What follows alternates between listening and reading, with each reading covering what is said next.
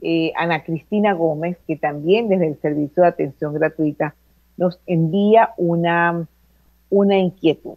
Ella nos pregunta si es posible poder arrendar, que un propietario arrende un inmueble para instalar una academia dentro del edificio, cuando ese edificio, de acuerdo al documento de condominio, está dedicado a los inmuebles residenciales. Eh, Ana nos explica que vive en un, pequeño edificio de 31 apartamentos y que de esos 31, 7 inmuebles están aquí.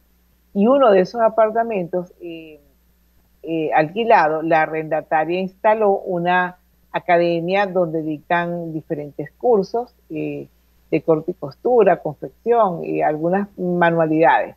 Y no solamente eso, sino que ella hace promoción, hace publicidad en redes sociales y ella está muy preocupada porque dice que esta actividad pues viola las normas de su documento de condominio y de la ley de propiedad horizontal. Eh, y me imagino que de alguna manera también eh, hace ingresar, tiene un tráfico importante de personas, cosa que eh, anteriormente pues no ocurría, ¿no? Los miembros de la Junta de Condominio han, tratado de establecer contacto con la propietaria para que pueda solucionar esta situación en forma conciliatoria, pero la propietaria no ha dado, respuesta a la misma. Pues sí, justamente, eh, Ana Cristina, eh, esta situación que nos planteas es así tal cual. Y, nos las planteas de una manera eh, legal, porque está basado en la ley de propiedad horizontal y en el documento de condominio. Pero aquí había, había existido, sin ánimo de justificar que eso sea, una situación muy particular a raíz de la pandemia, donde las personas han tenido que eh, diversificar sus ingresos y cambiar algunas cosas. Eh, y entre esas, pues hemos visto la cantidad de negocios que ahora funcionan dentro de los apartamentos y que han, han cambiado sustancialmente el uso dado inicialmente a los inmuebles para eso. Eh, aquí eh, quien tiene que dar respuesta no es el inquilino. El inquilino está vinculado al propietario bajo un contrato de arrendamiento y esa persona eh, no pudiera tener, no pudiera dar la cara o no pudiera tener ningún tipo de relación con la junta de condominio. Si la propietaria no, no da respuesta satisfactoria, pues pudieran ustedes hacer, hacerle llegar a través de la inquilina una citación a una eh, oficina conciliatoria que puede ser de la alcaldía eh, para que ellos sean quienes se hagan cargo de un caso como este, ¿no? Para que les permitan llegar a acuerdos y que ella eh, resuelva esta, esta relación arrendaticia y en todo caso, pues dándole el tiempo suficiente, porque hay un contrato de arrendamiento que es de orden público y que no se puede evitar, para que la persona este, pueda resolver su situación. Eh, hay unas acciones eh, judiciales que se pueden intentar ante el tribunal de municipio y que, tienen que ver con las obligaciones de hacer o no hacer. En este caso, eh, la arrendataria está obligada a no cambiar, primero a respetar las instalaciones, em, hacer uso, perdón, hacer uso de, su inmueble conforme a la finalidad que le está dando al mismo.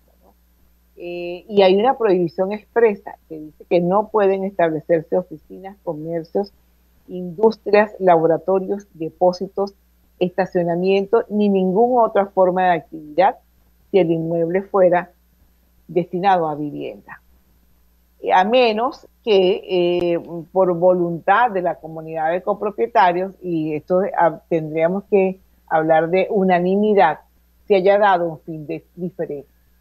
Imaginemos que un edificio que en principio fue de, de viviendas y por la ubicación y, o, por razones que después cambiaron, casi todo el edificio se ha destinado a zonas eh, comerciales.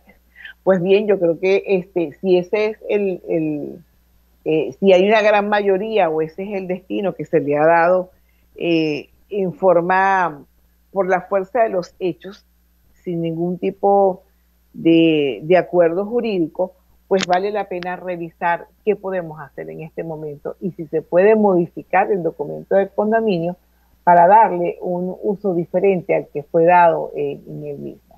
Pero mientras eso no exista, pues vamos a tener esta incomodidad.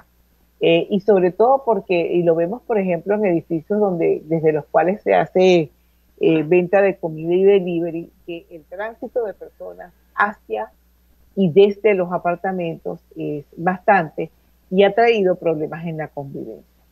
Entonces, eh, creo que hay que nuevamente, con, a lo mejor con, la alcaldía, con la intervención de esta unidad que de rentas que maneja el tema de las legalidad. Entonces vamos a pedirle, puede ser la intervención de la alcaldía del municipio donde usted se encuentra para saber cuál es la situación de esa empresa mercantil o simplemente exigir el cumplimiento al propietario, no al inquilino, de su obligación de no cambiar el destino eh, residencial que el inmueble ha tenido. Esa es la manera en que creo que podemos dar respuesta a esta situación em, tan delicada que trae muchos inconvenientes a todos los copropietarios. Y con esto le damos respuesta a, em, a nuestra querida Ana, que desde el Servicio Público de Atención Gratuita de micondominio.com nos ha enviado esta consulta el día de hoy.